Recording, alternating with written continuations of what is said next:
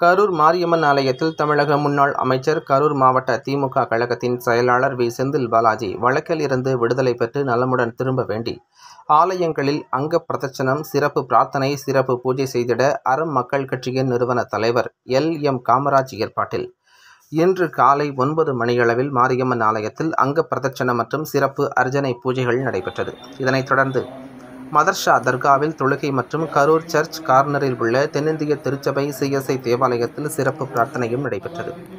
நிகழ்ச்சியில் அறம் மக்கள் கட்சியின் மாநில தலைவர் பழசேகரன் மாநில இளைஞரணி தலைவர் வடிவேல் மாநில ஆலோசகர் சுப்பிரமணி மாநில கொள்கை பரப்பு செயலாளர் கணபதி மகளிரணி தலைவி மணிமேகலை மாநில துணைத் தலைவர்கள் ராஜேந்திரன் மனோகரன் இளைஞரணி மாநில பொதுச் செயலாளர் முருகேசன் மற்றும் புதிய திராவிட கழகம் கட்சியின் தலைவர் ராஜ் கவுண்டர் புதிய திராவிட கழகத்தின் கரூர் மாவட்ட செயலாளர் எஸ். எஸ். சந்தோஷ் பசுவை சந்தோஷ் சமூக நீதி மக்கள் கட்சியின் நிறுவன தலைவர் வடிவேல் ராமன் உள்ளிட்டோர் கலந்து கொண்டனர்.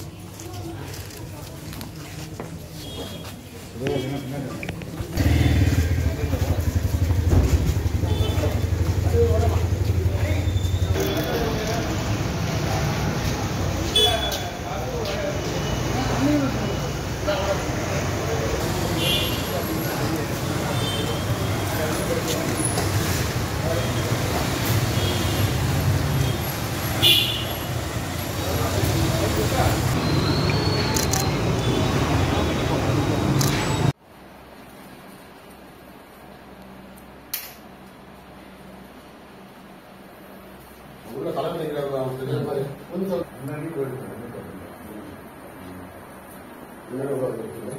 நல்லா ஒற்றுமை நல்லா சீக்கிரமாக அமைச்சரை வெளியே கொண்டு வருவாயாக அவர்களுக்கு எந்த கேஸ் இல்லாமல் ஆக்கி தந்துருவாயாக அவர்களுக்கு மன நிறைவு தந்துருவாயாக அவர்களுக்கு உடல் ஆரோக்கியம் தந்துருவாயாக அவருடைய குடும்பத்தாருக்கு மன நிம்மதி தந்துருவாயாக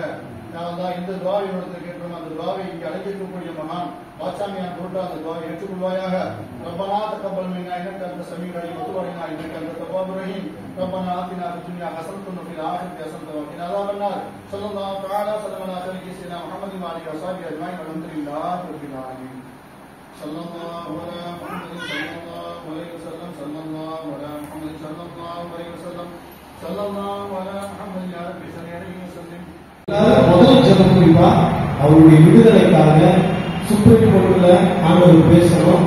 அவங்களுக்காக வாதாட வக்கீல் மூலமா பேசணும். ஏன் அப்படின்னா தேசங்களுக்காக சாதாரண மக்களுக்காக பேசுறதுக்கு நல்ல தலைவர்கள் எப்பொழுதும் இருக்கு அமைதியுள்ள ஜீவனம் பண்ணும்படியாக நீங்கள் தலைவர்களுக்காகவும் தேசத்தை ஆளுநர்களுக்காகவும் ஜெபிக்கணும்னு ஆண்டுடைய வார்த்தை சொல்லணும் அதனால அவங்களை தேடி வந்திருக்கிறாங்க. இந்த ஜபமே நம்ம மற்றவங்களுக்காக தேசத்துக்காக நீங்க ஜெபிக்கிற கூடியவங்க ஆண்டு அவங்க எல்லாத்தையும் கூடியிருக்காங்க சரிங்களா? அவங்களுக்காக நம்ம ஒரு ஜோபம் இல்லாம அப்புறம் நம்ம ஜெபம் சரிங்களா? ஐயா நீங்க எல்லாருமே ஏற்கனவே முடிவு பண்ணியாயிடுச்சு அவங்க